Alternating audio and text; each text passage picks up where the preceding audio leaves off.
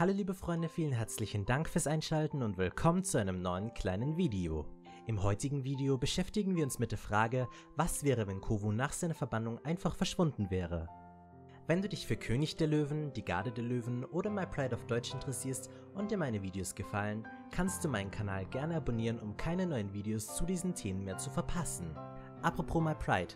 Ich lese in den Kommentaren immer wieder die Frage, wann die nächste Folge My Pride kommen soll.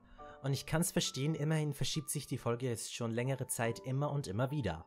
Da ich allerdings ziemlich oft diese Frage bekomme, werde ich sie in Zukunft nicht mehr unter den Kommentaren beantworten, sondern hier in den Videos. Ich werde euch immer auf dem Laufenden halten und informieren, sobald ich weiß, wann die nächste Folge My Pride denn kommen wird. Ich verstehe natürlich, dass ihr immer am neuesten Stand sein wollt und wissen wollt, wann die nächste Folge kommt, aber ihr müsst mich da auch ein bisschen verstehen. Es ist ziemlich anstrengend, wenn ich so ziemlich jeden Tag die Frage bekomme, wann denn die nächste Folge kommt.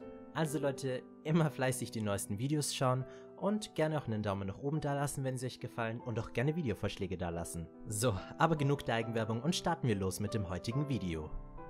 Nachdem Simba und Kovu spazieren waren, sie beide von Siras Rudel angegriffen wurden und Sira es dann so dargestellt hatte, als wäre Kovu Teil dieser Verschwörung, hatte Simba Kovu aus dem geweihten Land verbannt. Kovu versuchte zwar aufrichtig nochmal um Vergebung zu bitten, allerdings half das Ganze nichts und er musste gehen. Chiara, die die Entscheidung ihres Vaters nicht verstehen konnte, machte sich kurz darauf auf die Suche nach Kovu. Schließlich konnten sich die beiden noch wieder finden, es gab ein Liebeslied, sie entschlossen sich wieder zurückzukehren, beendeten diesen sinnlosen Konflikt und siehe da, Happy End. Aber was wäre, wenn das Ganze etwas anders abgelaufen wäre? Wir gehen davon aus, dass Kovu nach der Verbannung mit starken Selbstzweifeln zu kämpfen hatte. Er wusste einfach nicht, was er tun sollte, um das Ganze wieder gut zu machen.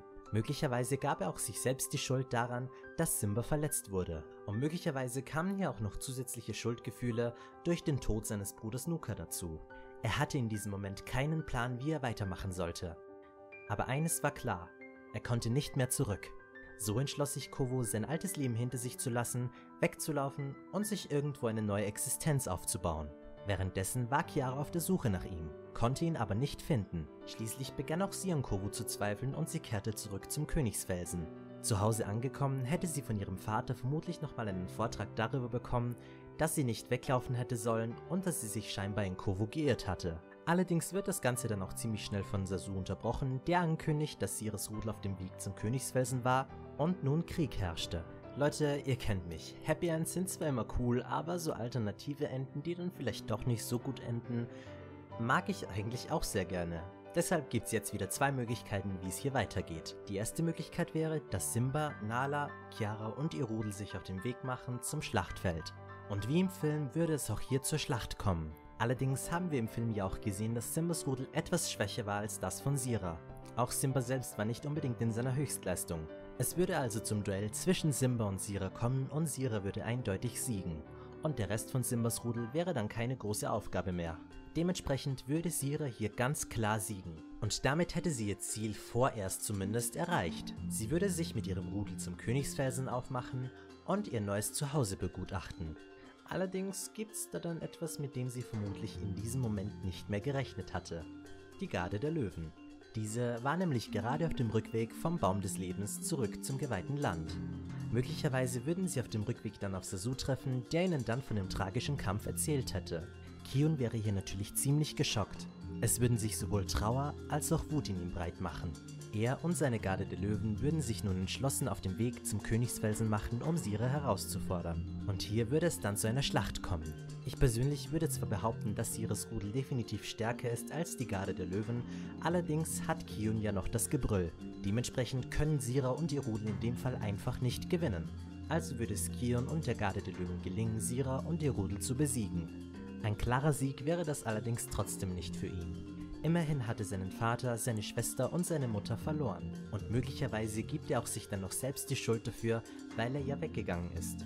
Und wäre er ein paar Tage früher abgereist, hätte er es vielleicht auch noch verhindern können. Alles in allem steht er jetzt auch noch vor einer schwierigen Entscheidung.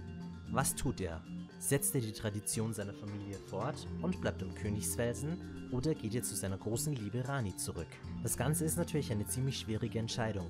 Man muss nämlich auch bedenken, dass im Königsfelsen ja an sich niemand mehr lebt, außer halt die anderen Tiere.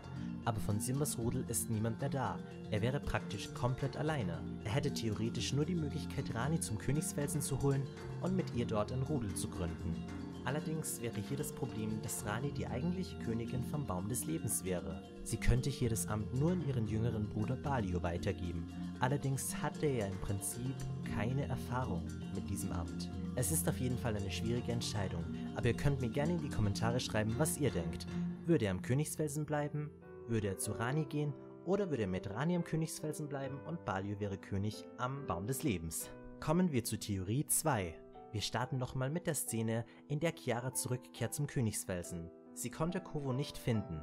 Auch hier würde Sasu berichten, dass Siris Rudel auf dem Weg zum Königsfelsen ist und nun Krieg herrschte. Allerdings wäre Chiara wie im Film auch strikt gegen diesen Kampf. Sie würde ihren Vater versuchen davon zu überzeugen, eine friedlichere Lösung zu finden. Allerdings würde Simba hier nicht auf sie hören und es würde zu dem Kampf kommen. In dieser Theorie würde sich Chiara aber nicht am Kampf beteiligen.